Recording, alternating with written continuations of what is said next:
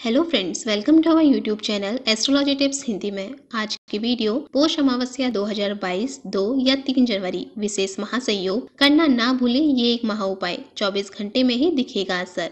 हिंदू धर्म में अमावस्या तिथि का विशेष महत्व होता है। मान्यताओं के अनुसार अमावस्या तिथि को धर्म, कर्म, स्नान, दान और पितरों के तर्पण के लिए बहुत ही शुभ माना जाता है। पोष माह में कृष्ण पक्ष की अंतिम तिथि को पोष अमावस्या कहा जाता है। पोष अमावस्या वर्ष की सबसे उत्तम अमावस्या मानी गई है। इस तिथि पर जातक व्रत व नदी में स्नान ध्यान करके सूर्य देवता को अग्र देते हैं साल 2022 पोष अमावस्या 2 जनवरी दिन रविवार के दिन पड़ रही है। इस दिन पितरों के तर्पण, दान और स्नान का काफ़ी विशेष महत्व होता है।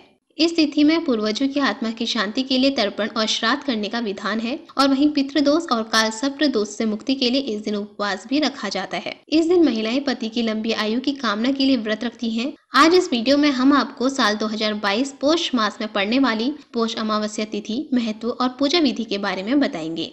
इससे पहले अगर आपने हमारा चैनल एस्ट्रोलॉजी टिप्स हिंदी में सब्सक्राइब नहीं किया है तो आज ही सब्सक्राइब करें, जिससे आपको हमारे वीडियो का नोटिफिकेशन सबसे पहले मिले। साथ ही बेल आइकन को भी ज़रूर क्लिक करें। तो चलिए अब वीडियो स्टार्ट करते हैं। सबसे पहले बात करते हैं पोष अमावस्या के महत्व के बारे में। हिंदू धर्म में पोष माह को काफ़ी पुण्य फलदायी बताया गया है। इस माह में पड़ने वाली अमावस्या पर किए गए व्रत और दान के प्रभाव से हर तरह के पाप नष्ट होते हैं। अमावस्या तिथि के स्वामी पितृदेव होते हैं और यह दिन पितृदेव को समर्पित होता है। पोष अमावस्या पर पितरों की शांति के लिए उपवास रखने से न केवल पितृगण, बल्कि ब्रह्मा, इंद्र, सूर्य, अग्नि, वायु, ऋषि आदि भी तृप्त होकर प्रसन्न होते हैं। इस दिन दान आदि का भी काफ़ी विशेष महत्व होता है। मान्यता है की अमावस्या के दिन गरीबों को भोजन कराने से यह सीधा पितरों तक पहुँचता है। साथ ही ऐसा करने से पितृदोष से मुक्ति मिलती है। इसके अलावा इस दिन गंगा स्नान कर पूजा आदि करने से जातक को अमोघ फल की प्राप्ति होती है। आप जानते हैं पोष अमावस्या व्रत की तिथि और शुभ मुहूर्त के बारे में। साल 2022 में पोष अमावस्या का व्रत 2 जनवरी दिन रविवार के दिन रखा जाएगा। अमावस्या तिथि का आरंभ होगा 2 जनवरी दिन रविवार प्रातः काल तीन बजकर तैतालीस मिनट से। अमावस्या तिथि का समापन होगा 3 जनवरी दिन सोमवार